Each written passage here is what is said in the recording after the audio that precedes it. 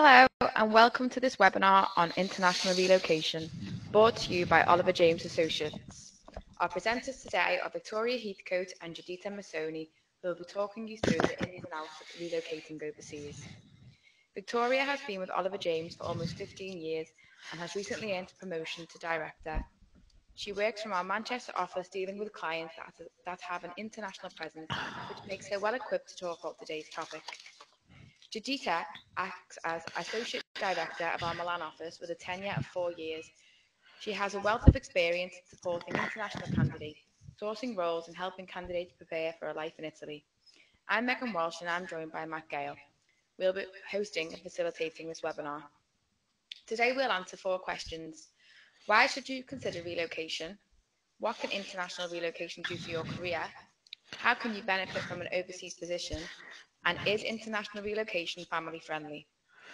There will be an allocated Q&A at the end of the session, but feel free to use the chat tool at any point to submit your questions or to tell us about any technical problems you may experience during this recording.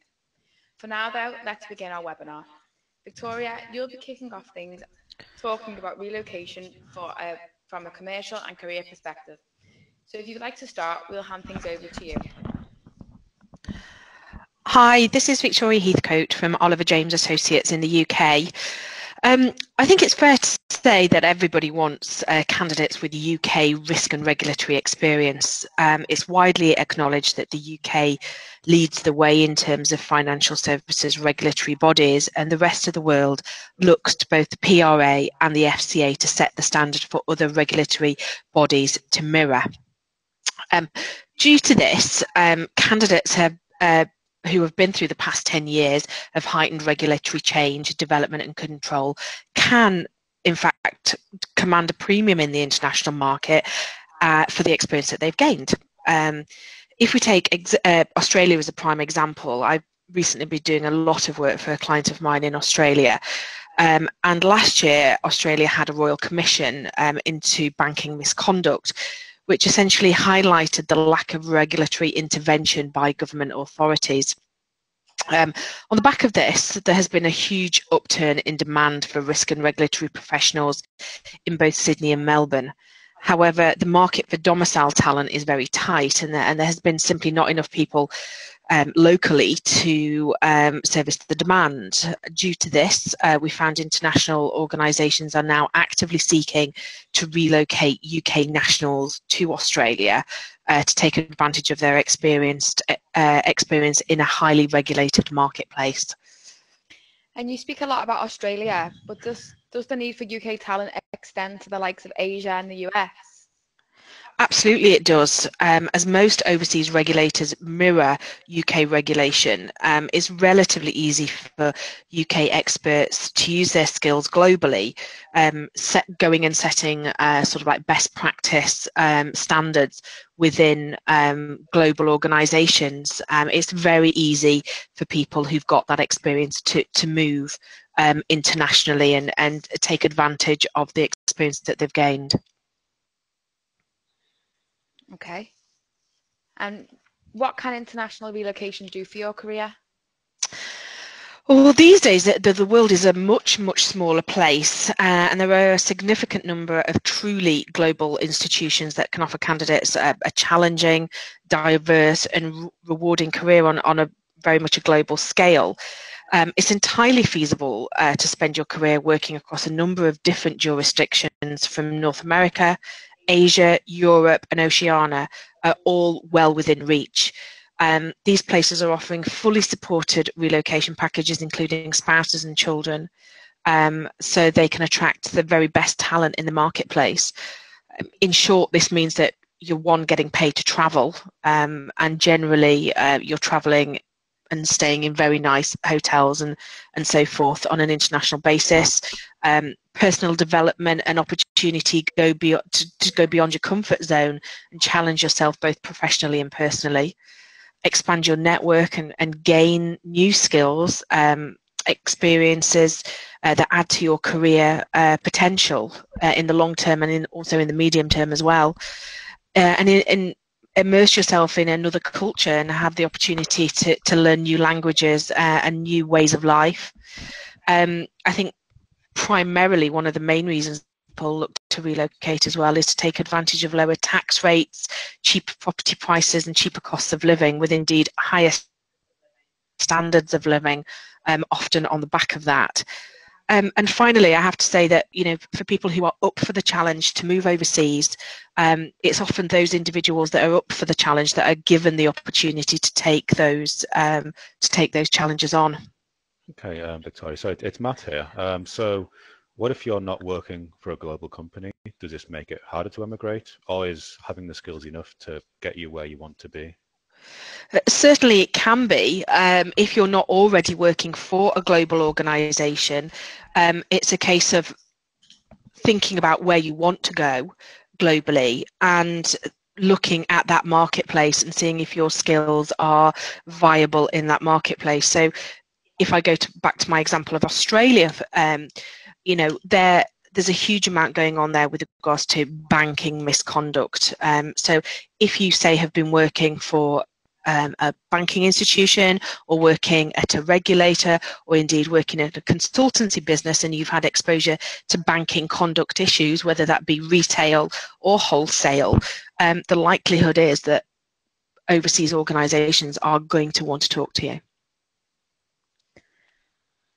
Okay, so if you wanted to get ahead of your game in an oversaturated UK market, is relocation the answer? It can be certainly. Um, the the marketplace in risk and regulation is very, very well established in the UK. Um, and I wouldn't necessarily say that it's an oversaturated market, but um, it is a very well serviced market. Whereas um, if you look at other jurisdictions um, and um, and you know move different to different continents and so forth, there is simply not um, the the domicile um, talent pool there. So, you know, you are um, already going to a, a, marketplace that can see you um, move up the ladder quite quickly, I think. And say if you, you're not a free agent, can you still relocate? Absolutely, you can. You know that that's not an issue at all so with the netherlands australia switzerland new zealand and canada all in the top 10 places um, to raise a family and all have huge financial services hubs. Um, the standard of living in these countries is superb, um, with high standards of housing, education, and healthcare. Um, children educated overseas um, often have a second and sometimes a third language, um, and all of these countries, uh, where there is a strong professional population, have international schools that can offer a choice of curriculum um, to uh, to families.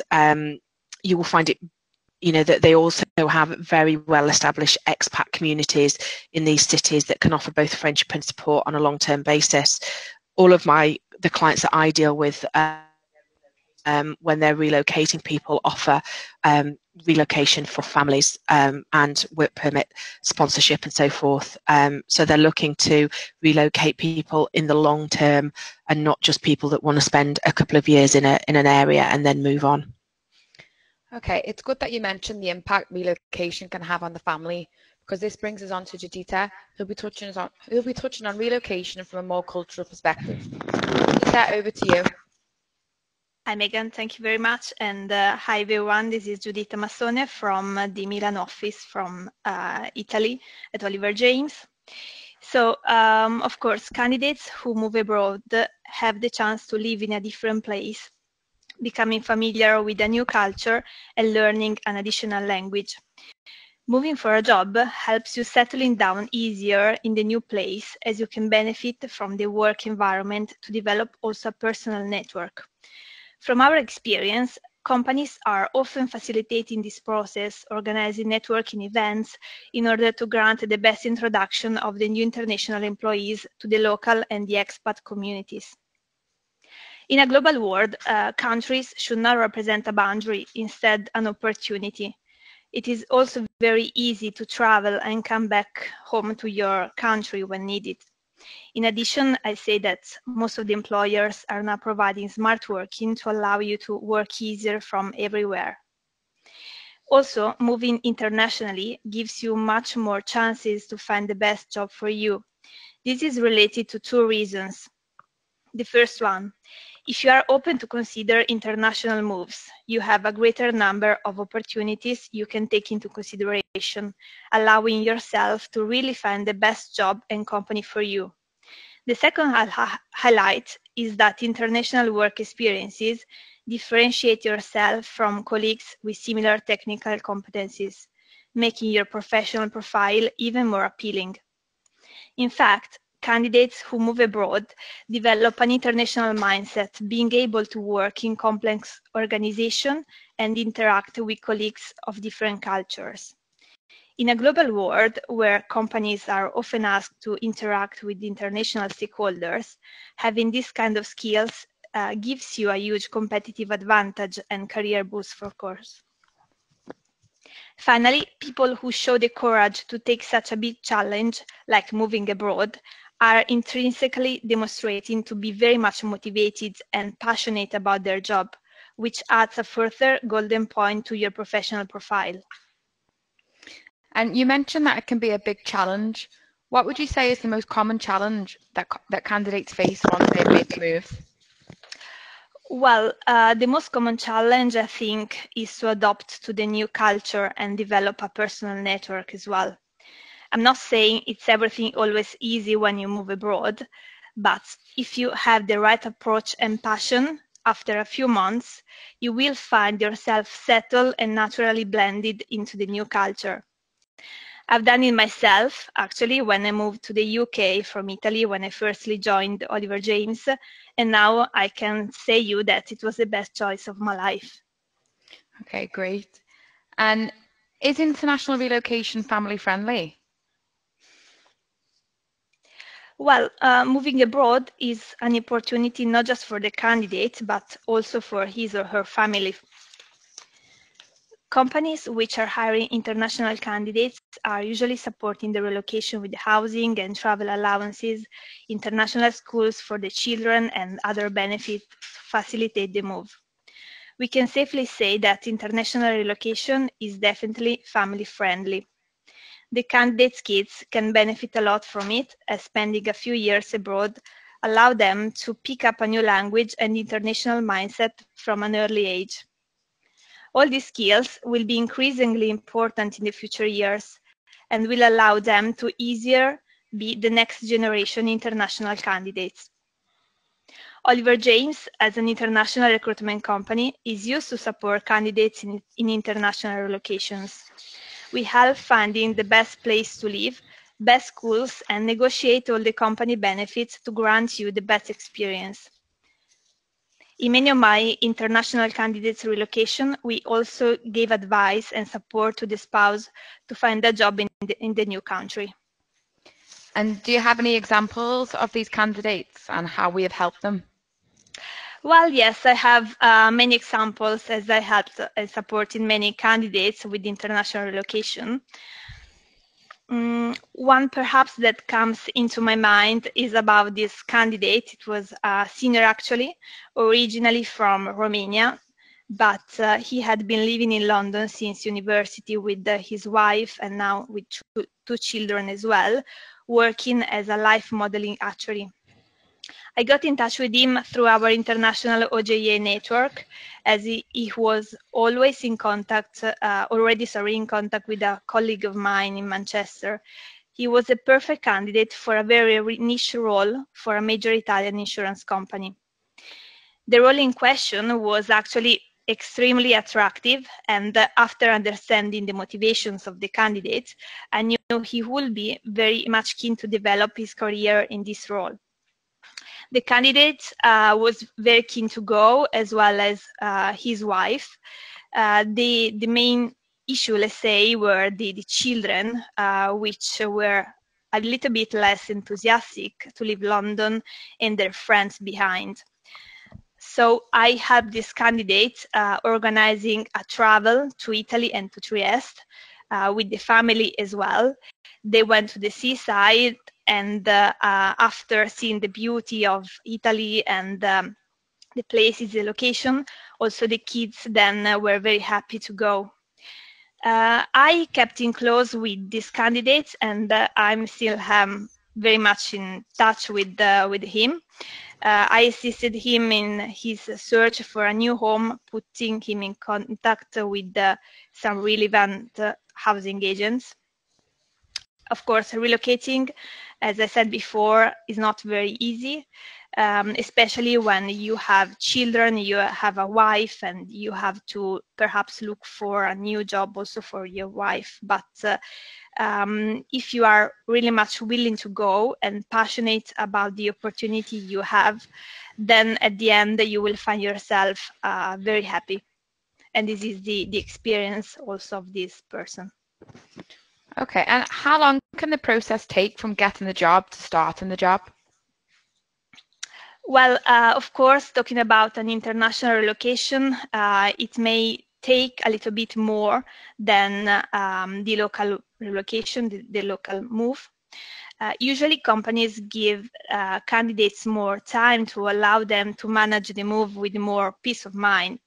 On average, I'd say that since the start of the selection process to the actual starting date, it could take around three months or so, but again, it will depend on the flexibility of the candidate and the company and the employer as well. Okay, and then if you decide that international relocation isn't for you, is it easy to find a job back in the UK or in this instance, Romania? Yeah, absolutely. I mean, uh, you gave it a try, and uh, uh, if you think that then it's not something for you, you can always come back. But uh, um, anyway, you come back different from how you you you arrived. You have a better professional background, and uh, also you have uh, a much more appealing professional profile also for your home country. Perfect. Thanks, Giuditta. It's uh, it's Matt here again. Um, yeah. I'd like to thank you both, Giuditta and Victoria, for running through your points here. What we'd like to touch on now is um, the expertise that Oliver James can, can use these in, in these instances and support candidates who are looking to embark on this journey of relocation. Um, so I'd like to cover off a couple of things. First of all, um, for anyone listening now who's maybe considering relocation, is looking at the pros and cons about it, um, why should they consider reaching out to the team at Oliver James? If I could ask you that, Victoria.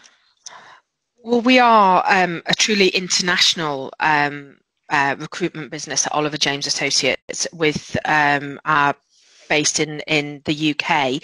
We have um, international offices across Europe, Asia and America. Um, and many of the individuals in those offices have relocated themselves, um, so they can give first hand, including Giuditta, um, they can give first hand um, advice and experience on how to, to go about doing that. And, um, you know, we have knowledge of um, work permits and, and the legal requirements. I'm currently um, dealing with um, an individual that I am relocating um, and I'm assisting that individual uh, who has two children of schooling age with finding schools for the children um, and also on practical notes such as um, housing and so forth. We've been able to help and advise on that as well. So it's not a case of you sign the contract and Oliver James walk away. We give an ongoing professional and personal touch to, to helping people relocate. And presumably this goes beyond the actual placement itself. Um, Absolutely. Relationship. Absolutely, absolutely, we do. Um, you know, it's it's. I, I'm dealing with another individual at the moment who I've known for many, many years, uh, and I'm in the process of relocating um, him to Australia. He has three children, um, one of whom um, is at university. So there's been lots and lots of discussion about um, the practicalities of how that's going to happen and um, and you know the ongoing support and trust that we have with our candidates um, goes beyond a transactional um, relationship. Thanks, Victoria. Um, I'd like to pose a similar question over to you, Giuditta. Um, so, from your perspective, what kind of service and relationship can a candidate expect who's looking to embark on this, like, admittedly unique um, career progression milestone? Mm-hmm. Yes, well, we are keen to provide our candidates uh, the an excellent level of service. So we are aware that moving internationally is not easy at all. So we want to support the, this process during all the phases from the, the selection to the decision to actually move. Um, we sometimes we get in touch also with, with the family to, to understand one, what what are their um, their doubts about it so we can perhaps help them. And of course uh, we support um, negotiating all the benefits and the best package with the, the new employer we support with the, the uh, looking for the, the, the house the, the location and uh, develop perhaps a personal network we uh, are, of course, uh, su mm, supporting many candidates in the relocation, international relocation. So uh, what we, we do as well is putting these people in contact once they are in the same country so that they can develop a community, an expat community. Perfect. Thank you, Giuditta.